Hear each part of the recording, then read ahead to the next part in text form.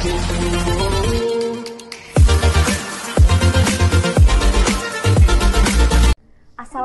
warahmatullahi wabarakatuh.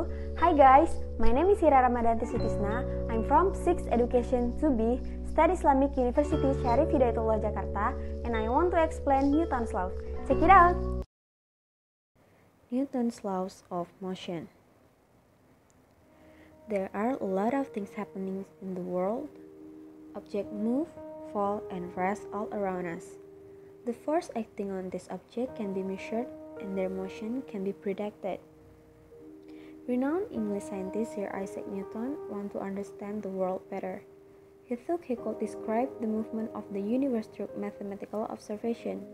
In 1687, he published the observation in a book, which outlined his understanding of the laws of motion.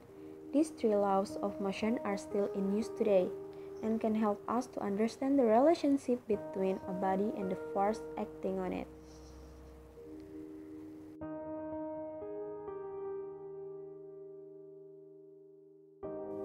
Newton's first law.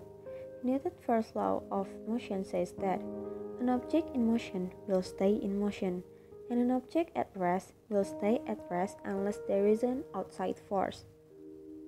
This law is also called the law of inertia since inertia is the tendency of an object to keep doing what it's doing. For example, you have to experience Newton's first law if you have ever used a swing on a playground.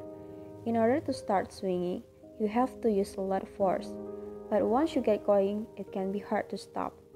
Here on Earth, there are some force working on object all the time.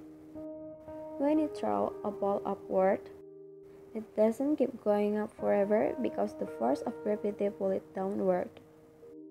Once it hits the ground, friction or resistance caused by surface rubbing together will eventually bring it to a stop. Newton's second law. Newton's second law of motion says that force is the product of mass times acceleration.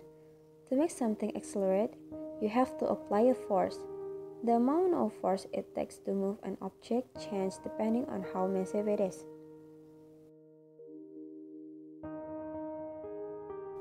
For example, you will have more force to move a bowling ball than to move a volleyball of the same size.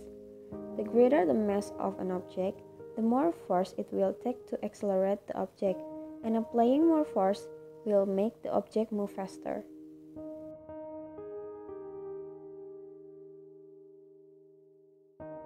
And last, Newton's third law.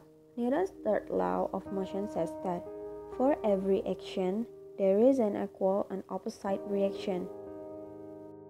For example, when you jump, your legs apply a force to the ground, and the ground gives the same force, an opposite reaction force that propels you into the air.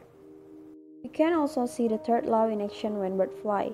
Their wings press down against the air the air pushes up against their wings, allowing them to move upward. That's all the explanation of Newton's laws. Thanks for watching guys. Wassalamualaikum warahmatullahi wabarakatuh. Bye bye.